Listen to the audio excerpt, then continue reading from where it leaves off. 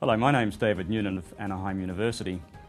The purpose of this short video is to introduce you to Anaheim University's TESOL certificate.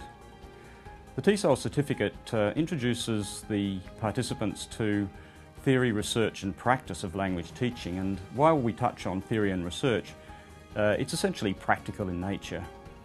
The course itself is, is bundled into three sets of modules. After an introductory lecture on language teaching methodology, um, the first bundle of modules focuses on the four skills, listening, speaking, reading and writing. These form an essential platform for the rest of the modules to come.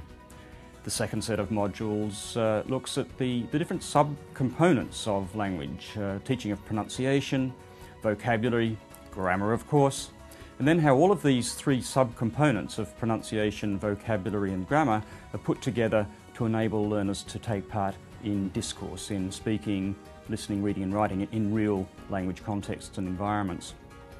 In the final set of modules, we look at a wide range of uh, techniques and topics, including content-based instruction, which is becoming very, very popular uh, both in ESL and EFL contexts, using computers and technology in the classroom, learning styles and strategies, learner autonomy, and then in the very final module, we look at assessment and evaluation and we look at techniques that teachers can use in the classroom for assessing their learners and seeing how well their learners are doing, but also then evaluating their own curriculum and their own teaching and looking at how well their own teaching and their own uh, techniques and procedures in the classroom have served the learning needs of the learners.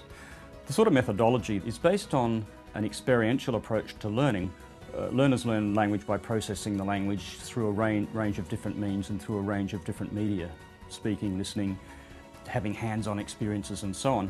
I've tried to mirror this in the TESOL certificate so that people who take part in the certificate will be listening, speaking, reading and writing.